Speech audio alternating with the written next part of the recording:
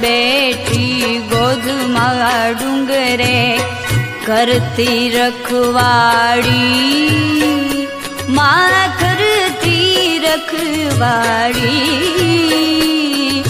महा